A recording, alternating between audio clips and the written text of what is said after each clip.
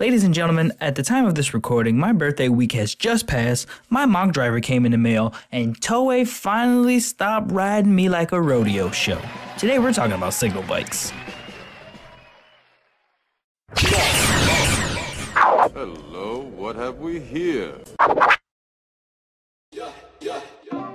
So, signal bikes are small motorcycle devices that are used very frequently by both Kamen Riders Mach and Chaser from the Drive series. When compared to the shift cars, they actually have a lot in common. Just like their cousins, signal bikes have the ability to grant their users immunity to the heavy acceleration while seeming to have a high level of sentience and intelligence. This has proven that just like their cousins, they are able to help out with both scouting and other tasks. For Go specifically, they like to hold up his camera for him should he not be able to take a photo. They're just as durable seeing that they also can destroy Roidmude constructs just like their cousins. And of course the most obvious comparison, they're used for the transformation or power up of any rider who uses them specifically Mach and Chaser. Speaking of transformations, this process is done when a signal bike is used in conjunction with the Mach driver Honoh. When it comes to the usage of the signal bikes, many are used by Mach, and mostly they're just used to enhance any form that he's in. This is called a signal exchange, and this gives Mach's Zenrin shooter an array of shooting capabilities. The potency of each shot varies depending on how many times the booster igniter button on the Mach driver is hit. So one press will give you the uwa,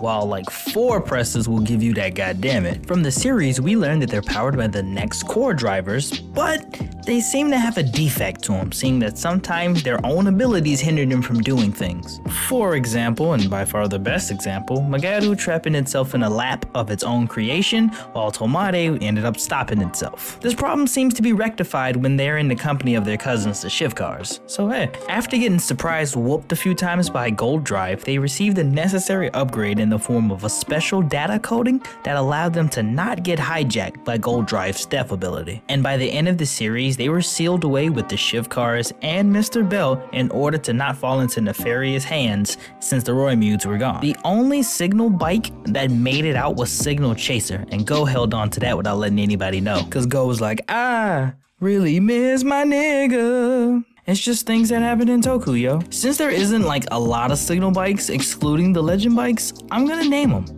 And we're gonna leave Dead Heat out of this one because it's like a shift car and a signal bike. You know what I mean, dog. It'll make more sense in the shift car video. So Signal Mach and Signal Chaser are the only two transformation signal bikes seen within the series. And this allows for the transformations of her base form Mach and Chaser. Both signal bikes are based on their riders' own respective motorcycles, and each, both used in repetition, will allow Go to use Chaser Mach form, which is like by far one of the most powerful forms in Drive. In terms of signal exchange bikes, there are four that are seen within the series, and all were used in conjunction with Mach's Zenrin shooter, producing an array of shots. Remember, in order to use these trick shots, the signal bikes don't have to be in the Zenrin shooter, but is controlled by the number of hits on the Mach driver's boost igniter. Signal Magaru is the green signal bike that allows for his shots to curve on some wanted type.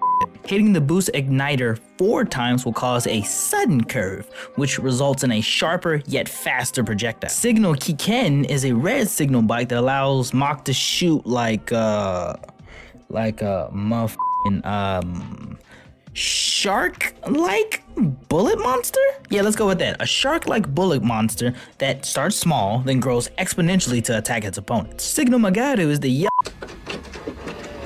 Honestly, I don't know how the hell I got that wrong. The correct name for that signal bike is Tomare. Tomare. Sorry about that.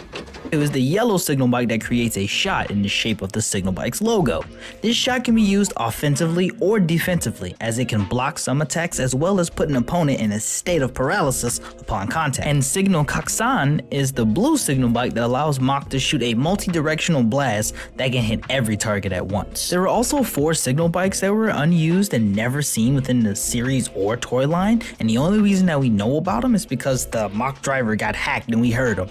So yeah. If you enjoyed this video, don't hesitate to give me a like, subscribe to the channel for more Kamen Rider and Super Sentai Weekly goodness. In the comment section below, let me know what your favorite signal bike is, and man, is it good to be back. Finally, my schedule is like not stupid. I can actually do videos again, so don't worry. G3X script is in the process of being made. O's uh, part 3 is getting made, and I'm working on Wizard Part 1. If there's anything else you want me to see, don't hesitate to let me know in the comment section below as well. I could probably squeeze In the middle of all this too, so hopefully if nothing like brutally assaults me, we'll do it. Anyway, that's it for me. I'm Lambo Calrissian, reminding you guys to keep calm and Toku on. And man, I just fucking love this Mach driver.